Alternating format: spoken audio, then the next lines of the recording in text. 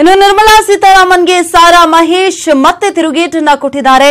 ನಿರ್ಮಲಾ ಸೀತಾರಾಮನ್ ಸಿಟ್ಟು ಮಾಡಿಕೊಂಡಿದ್ರು ಕೂಡ ನಾನು ಸುಮ್ಮನಿದ್ದೆ ಅಂತ ಹೇಳಿ ಮತ್ತೆ ಸಾರಾ ಮಹೇಶ್ ತಿರುಗೇಟನ್ನ ಕೊಟ್ಟಿದ್ದಾರೆ ಕೇಂದ್ರ ರಕ್ಷಣಾ ಸಚಿವೆ. ನಿರ್ಮಲಾ ಸೀತಾರಾಮನ್ ಅವರಿಗೆ ಈಗ ನಾನು ಸಿಟ್ಟು ಮಾಡಿಕೊಂಡಿದ್ರೆ ಏನಾಗ್ತಾ ಇತ್ತು ಅಂತ ಹೇಳಿ ಸಚಿವ ಸಾರಾ ಮಹೇಶ್ ಪ್ರಶ್ನಿಸಿದ್ದಾರೆ. ನಿರ್ಮಲಾ ಸೀತಾರಾಮನ್ ಹಿಂಬಾಗಿಲಿನಿಂದ ರಾಜಕಾರಣಕ್ಕೆ ಬಂದವರು. ಹಾಗಾಗಿ ನಿರ್ಮಲಾ ಸೀತಾರಾಮನ್ ಈ ರೀತಿ ಆಡ್ತಾ ಇದ್ದಾರೆ. ನಿರ್ಮಲಾ ಸೀತಾರಾಮನ್ಗೆ ಸಚಿವ ಸಾರಾ ಮಹೇಶ್ ಈ ರೀತಿಯಾಗಿ ವಾಗ್ದಾಳಿಯನ್ನ ಮಾಡಿದ್ದಾರೆ. ನಿರ್ಮಲಾ ಸೀತಾರಾಮನ್ ವಿರುದ್ಧ ನಾನು ಸಿಟ್ಟು ಮಾಡಿಕೊಂಡಿದ್ರೆ ಏನಾಗ್ತಾ ಇತ್ತು? ನಿರ್ಮಲಾ ಸೀತಾರಾಮನ್ ಸಿಟ್ಟು ಮಾಡಿಕೊಂಡಿದ್ರು ಕೂಡ ನಾನ್ ಮಾತ್ರ ಸುಮ್ಮನಿದ್ದೆ. ಅಷ್ಟೇ ಅಲ್ಲ, ನಿರ್ಮಲಾ ಸೀತಾರಾಮನ್ ಹಿಂಬಾಗಿಲಿನಿಂದ ರಾಜಕಾರಣಕ್ಕೆ ಬಂದವರು ಹಾಗಾಗಿ ಈ ರೀತಿಯಾಗಿ ಆಡ್ತಾ ಇದ್ದಾರೆ ಅನ್ನುವಂತ ಹೇಳಿಕೆಯನ್ನ ಸಾರಾ ಮಹೇಶ್ ನೀಡೋದ್ರ ಮೂಲಕ ಮತ್ತೊಮ್ಮೆ ಕೇಂದ್ರ ರಕ್ಷಣಾ ಸಚಿವೆ ನಿರ್ಮಲಾ ಸೀತಾರಾಮನ್ ಅವರಿಗೆ ತಿರುಗೇಟನ್ನ ಕೊಟ್ಟಿದ್ದಾರೆ.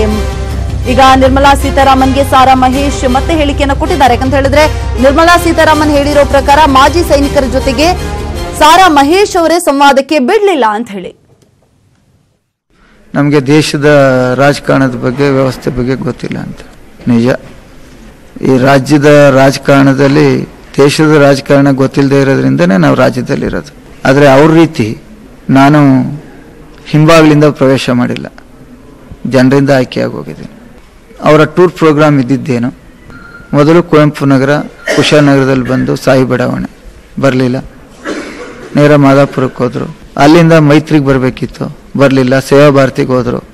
ಅಲ್ಲಿಂದ ಡಿ ಸಿ ಆಫೀಸಲ್ಲಿ ಅಫಿಷಿಯಲ್ ಜೊತೆ ಡಿಸ್ಕಷನ್ ಮಾಡಬೇಕಿತ್ತು. ಅವರೇ ಹೇಳಿದ್ದಾರೆ, ಮಾಜಿ ಸೈನಿಕರ ಜೊತೆ ಚರ್ಚೆ ಮಾಡಿದೆ ಅಂತ ಮುಗೀತು. ನಾವು ಆಗೂ ಕಾದ್ವಿ. ಮತ್ತೆ ಇನ್ನೊಂದು ಡಿಸ್ಕಷನ್ ಕೂತ್ಕೊಂಡ್ರು. ಇನ್ನೊಂದು ಟೀಮ್ ಜೊತೆ. ಆಗ ನಾವು ರಿಕ್ವೆಸ್ಟ್ ಮಾಡಿದ್ವಿ ಮೇಡಮ್ ಅಫಿಷಿಯಲ್ಸ್ ಎಲ್ಲ ಫೀಲ್ಡ್ಗೆ ಹೋಗಬೇಕು. ಒಂದು ಐದು ನಿಮಿಷ, ಅವರಿಂದ ಫೀಡ್ಬ್ಯಾಕ್ ತಗೊಳ್ಳಿ. ಅವರ ಶಾಸಕರುಗಳು ಇದ್ದರು ಅವರು ಅದನ್ನೇ ಹೇಳಿದರು. ಇಲ್ಲ, ನಾನು ಅದು ಮುಗಿಸ್ಬರ್ತೀನಿ ಅಂತ ಹೇಳ್ಬೋದಿತ್ತು. ಇಲ್ಲ ಅಂತ ಹೇಳಿದ್ರೆ ಇದನ್ನು ಮುಗಿಸಿ ಹೋಗ್ಬೋದಿತ್ತು. ಅದಕ್ಕೆ ಇಷ್ಟೊಂದು ಸಿಟ್ಟು ಹಾಕ್ಬೇಕಿತ್ತು. ನನ್ನ ನಮ್ಮಿಂದ ಏನಿಲ್ಲ, ಭಾರಿ ಜನ ಸದಾನಂದ ಗೌಡರು ಬಂದು ಹೋದರು. ಬೇರೆ ಬೇರೆ ಮಂತ್ರಿಗಳು ಬಂದು ಹೋಗಿದ್ದಾರೆ. ಇವರ ರೀತಿನೇ ನಡ್ಕೊಂಡ್ರ. ಅವ್ರಿಗೆ ಬಂದಾಗಿಂದನೂ ತಾಳ್ಮೆ ಇರಲಿಲ್ಲ. ಹೆಂಗೆ ನಡ್ಕೊಂಡ್ರು ಅನ್ನೋದು ನೀವೇ ನೋಡಿದ್ದೀರಿ ಅವಶ್ಯಕತೆ ಇತ್ತ. ಅವ್ರು ಹೇಳಿದ್ದಾರೆ, ಪಾಪ ನಮ್ಗೆ ಅರಿವಿಲ್ಲ ಅಂತ. ನನಗೆ ಅರಿವಿಲ್ಲ. ಅದಕ್ಕೆ ಅವ್ರು ಎಷ್ಟು ಮಾತಾಡಿದ್ರು ನಾನು ಏನು ಮಾತಾಡಲಿಲ್ಲ. ಈ ಬಗ್ಗೆ ಮತ್ತಷ್ಟು ಮಾಹಿತಿಯನ್ನ ಕೊಡ್ತಾರೆ ನಮ್ಮ ಪ್ರತಿನಿಧಿ ಧರಣೀಶ್ ದೂರವಾಣಿ ಸಂಪರ್ಕದಲ್ಲಿದ್ದಾರೆ. ಧರಣೀಶ್, ನಾವು ಗಮನಿಸ್ತಾ ಇದ್ವಿ, ಒಂದ್ ಕಡೆಯಲ್ಲಿ ನಿರ್ಮಲಾ ಸೀತಾರಾಮನ್ ಸ್ಪಷ್ಟನೆಯನ್ನ ಕೊಡ್ತಾರೆ, ಮತ್ತೊಂದ್ ಕಡೆಯಲ್ಲಿ ಸಾರಾ ಮಹೇಶ್ ಅದಕ್ಕೆ ತಿರುಗೇಟನ್ನ ಕೊಡ್ತಾರೆ. ಇದೆಲ್ಲವನ್ನ ನೋಡ್ತಾ ಇದ್ರೆ ಇದೆಲ್ಲ ಮುಗಿಯೋ ಲಕ್ಷಣಗಳು ಕಾಣಿಸ್ತಾ ಇಲ್ವಾ ಅಂತ ಹೇಳಿ. ಶಮೀರ ಕೊಡಗಿನಲ್ಲಿ ಆಗಿರುವಂತಹ ಒಂದು ಆ ನೆರೆ ಸಂತ, ನೆರೆ ಸಂತ್ರಸ್ತರಿಗೆ ಪರಿಹಾರವನ್ನ ಕಂಡುಕೊಳ್ಬೇಕಿತ್ತು ಕೇಂದ್ರದ ಸಚಿವರು ಮತ್ತು ರಾಜ್ಯದ ಸಚಿವರು. ಆದ್ರೆ ಈಗ ಆರೋಪ, ಪ್ರತ್ಯಾರೋಪಗಳಲ್ಲಿ ನಿರತರಾಗಿರುವ ರೀತಿಯಲ್ಲಿ ಕಾಣಿಸ್ತಾ ಇದೆ. ನಿನ್ನೆ ಕೇಂದ್ರ ರಕ್ಷಣಾ ಸಚಿವೆ ನಿರ್ಮಲಾ ಸೀತಾರಾಮನ್ ಯಾವ ರೀತಿ ನಡ್ಕೊಂಡ್ರು ಅನ್ನುವಂಥದ್ದನ್ನ ನ್ಯೂಸ್ ಏಟಿನ್ ಕನ್ನಡ ಬಹಳ ವಿಸ್ತೃತವಾಗಿ ಬಿತ್ತರಿಸಿತ್ತು.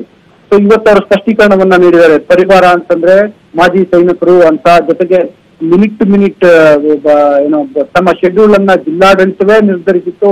ಆದ್ರೂ ಜಿಲ್ಲಾ ಉಸ್ತುವಾರಿ ಸಚಿವರಾದಂತಹ ತಾರಾ ಮಹೇಶ್ ತಮ್ಮ ಶೆಡ್ಯೂಲ್ ಅನ್ನ ಡಿಸ್ಟರ್ಬ್ ಮಾಡಿದ್ರು ಅನ್ನೋ ಒಂದು ಬ್ಯಾಟಿನಲ್ಲಿ ಸ್ಪಷ್ಟೀಕರಣವನ್ನ ನೀಡಿದರೆ ಇನ್ನೊಂದ್ ಕಡೆ ರಾಜ್ಯ ಬಿಜೆಪಿ ಅಧ್ಯಕ್ಷ ಯಡಿಯೂರಪ್ಪ ಕೂಡ ನಿರ್ಮಲಾ ಸೀತಾರಾಮನ್ ತರ ಬ್ಯಾಟಿಂಗ್ ಮಾಡಿದ್ದಾರೆ. ಅಂದ್ರೆ ಅವರು ರಾಜ್ಯಸಭೆಯ ಸದಸ್ಯರನ್ನ ಅವಮಾನ ಮಾಡಿಬಿಟ್ರು, ಜಿಲ್ಲಾ ಉಸ್ತುವಾರಿ ಸಚಿವರು ಅನ್ನುವ ಬ್ಯಾಟಿನಲ್ಲಿ ಮಾತನಾಡಿದರೆ ಈಗ ತಾರಾ ಮಹೇಶ್ ಅದಕ್ಕೆ ಪ್ರತ್ಯಾರೋಪವನ್ನ ಮಾಡುವ ರೀತಿಯಲ್ಲಿ ಮಾತನಾಡಿದ್ದಾರೆ. ಅಂದ್ರೆ ಪರಿಹಾರ ಕಾರ್ಯಕ್ಕೆ ಇವರ ನಡತೆಯಿಂದ, ಇವ್- ಇವರ ನಡವಳಿಕೆಯಿಂದ ಅಡ್ಡಿ ಆಯ್ತು ಅನ್ನುವ ನಿಟ್ಟಿನಲ್ಲಿ ಮಾತನಾಡಿದ್ದಾರೆ. ಅಂದ್ರೆ ಈಗ ನನಗೆ ಹೇಳಿದಂತೆ ಪರಿಹಾರ ಕಂಡುಕೊಳ್ಬೇಕಿದ್ದಂತಹ ಇಬ್ಬರು ಜವಾಬ್ದಾರಿಯುತ ಸಚಿವರು ಈಗ ಆರೋಪ, ಪ್ರತ್ಯಾರೋಪದಲ್ಲಿ ನಿರತರಾದಂತಾಗಿದೆ. ಸೊ ಆ ರೀತಿಯ ಬೆಳವಣಿಗೆಗಳು ಈಗ ಆಗ್ತಾ ಇದ್ದಾವೆ Shameera. Okay thank you Dharneesh. ತಮ್ಮೆಲ್ಲ ಮಾಹಿತಿಗೆ